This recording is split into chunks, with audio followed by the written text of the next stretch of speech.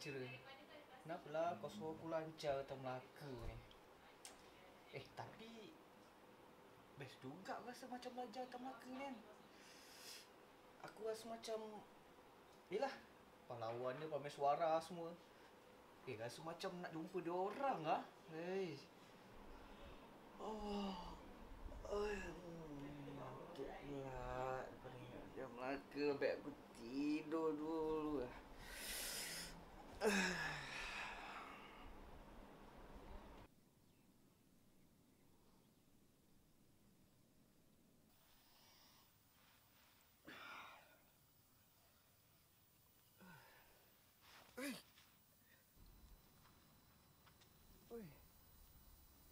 Eh, kau kau siapa?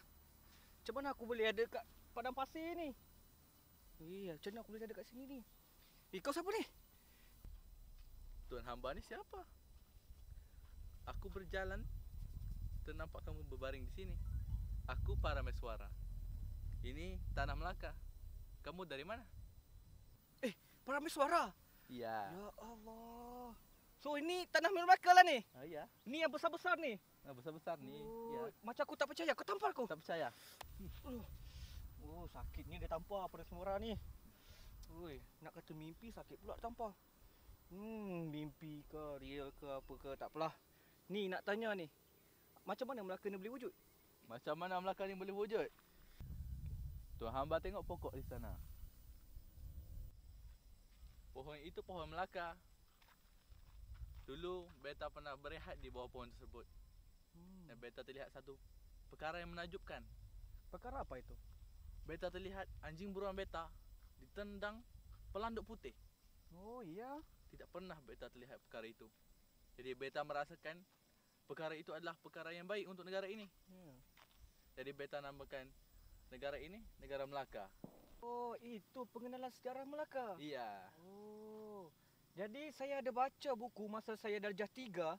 Uh, zaman kebangkitan Melaka sangat maju, sangat terkenal. Ya, sangat maju. Ya. Jadi macam mana? Kamu boleh huraikan tak para meswara? Ya, sudah tentu saja. Hmm.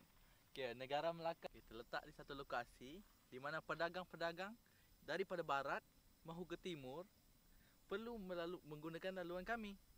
Oh. Ha, jadinya setiap pedagang-pedagang mesti akan lalu negeri Melaka.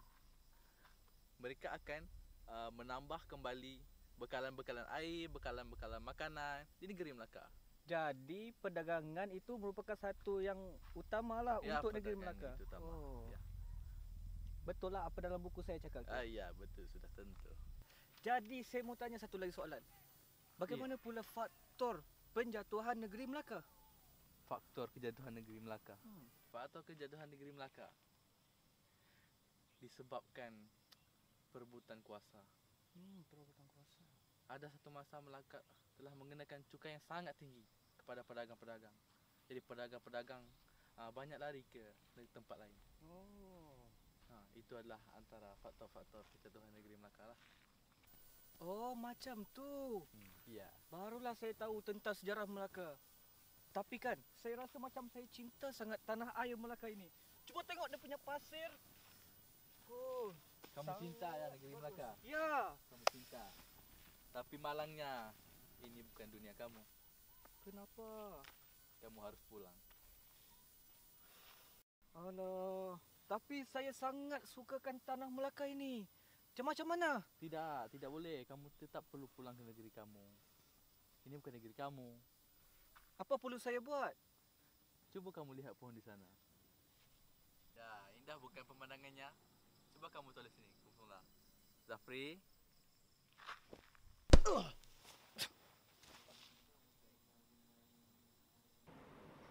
Woi, bangunlah. Subuh gajah. Subuh pun lepas tadi. Cepat ada kelas dah dekat ni. Pukul 8 ni. Bangun, bangun. Oh. Eh, yang kau tumbuk aku apa makhluk? Eh! kejut aku pun macam kejut binatang. Eh, aku apa ni? Weh, kelas-kelas pukul 8. Eh, weh, tunggu aku. Tanah Melayu aku dilahirkan Takkan berpaling biar dikecam Cinta dan restu tidak boleh dipaksa Kalau nak menurut biar berakal Selagi ianya di bumi Melaka Ia menjadi tugas hamba Kerjasama pasak kesepaduan. Takkan goyah jika ada haluan. Tiada siapa perlu lakukan Apa yang bukan kemahuan hati.